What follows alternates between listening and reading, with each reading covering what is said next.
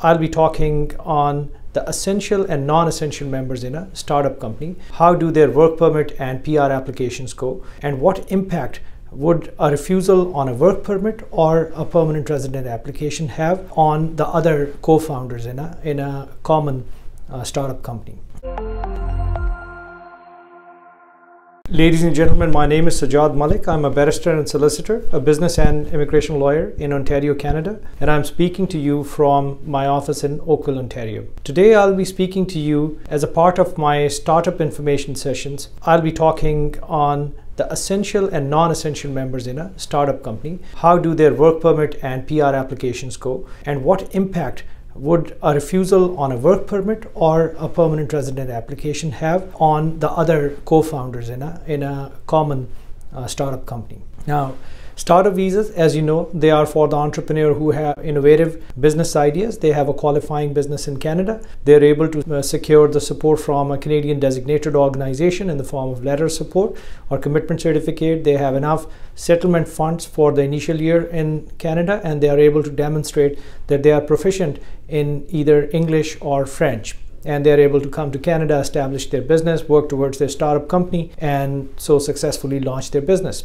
Now, in a startup company, there could be up to five uh, founders or co founders. There could be a couple of people, three, four, and up to five. And these people should ideally have diverse skill sets. So when they start launch their company in Canada, when they're launching their operations in Canada, they are self sufficient in at least some of the core functions which their own founders could perform, including marketing, finance, technology, some kind of business development, and outreach. Now, when these founders come together, discuss their idea, they must think very seriously that out of these members, who will be considered, who will be the essential members of the company. And when they pitch their ideas to the uh, designated organization, they have to make sure that those people are declared as essential members of the company who are actually committed in coming to Canada and helping develop that business and actually work inside Canada on their operation to develop that business. So if they are essential members, they could also apply for work permit and come to Canada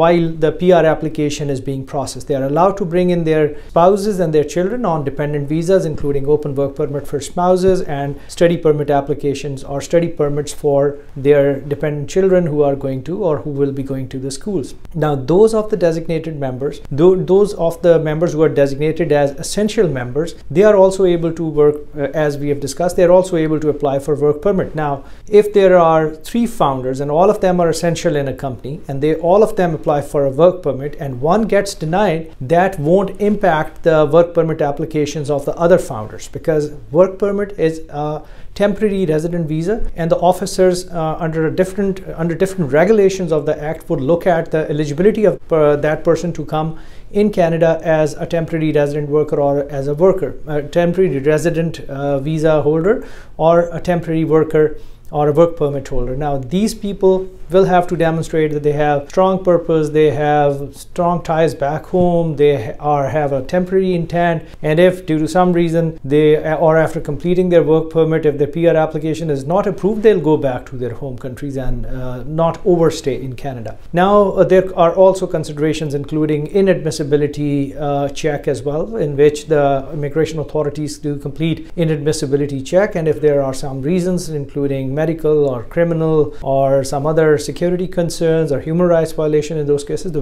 work permits are denied but the good thing is if one is denied work permit uh, during this startup visa work permit processing the others are not affected. The startup company is not affected, and the applications, the other work permit applications for other members would continue. Similarly, if one is denied a work permit, that person's that particular person's PR application would also not be impacted because if it is he's denied or she's denied based on some uh, the intent matter, then permanent residence application needs permanent intent and it may not be denied. But if that person has some other serious concerns, including inadmissibility or other matters, then then if he has been refused a temporary work permit, the officer may look at those factors while determining the permanent residence applications. And inadmissibility matters or concerns could lead to an effect, a negative effect on the permanent residence applications. Similarly, if the essential members, one of the essential member is denied the PR application or approval for the PR application, it will impact other essential members as well. So if you are one of the essential members with some deep concerns regarding your inadmissibility or some other matters, or if you intend not to be actively engaged in the business and down the line it appears that your, your PR application may be denied, it is not a good idea to remain an essential member. It is better to apply as a non-essential member. So if you withdraw or if there's a negative decision against you in your PR application, it does not affect the other essential members.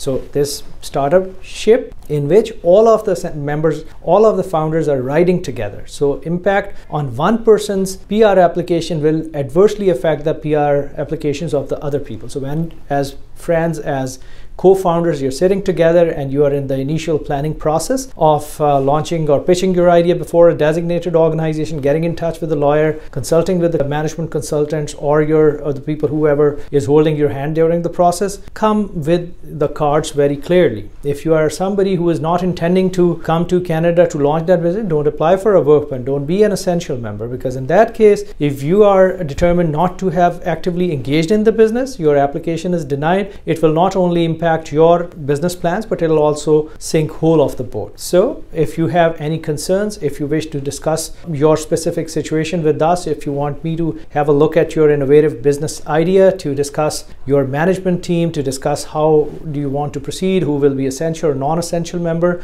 what is the complete process. I am a business and immigration lawyer. I may be able to help you through my team or through my independent consultants in the PR, in not only the process application process with the designated organization, but uh, also with the business side of it and immigration side of it. So my information is displayed in this video at the end of it or elsewhere and you are requested to get in touch. And if you want to have a specific consultation with me i would be happy to schedule one anytime soon. Thank you very much and have a good day